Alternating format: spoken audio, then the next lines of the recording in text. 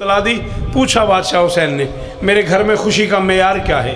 हबश की मलका ने कहा, क्या बताऊँ, नूर ने नूर को सीने से लगा रखा है, आपकी आँख को आँखों में बसा रखा है, दस्ते अब्बास पे है आपका अकबर मौला, हुसन के चाँद ने सूरज को उठाया।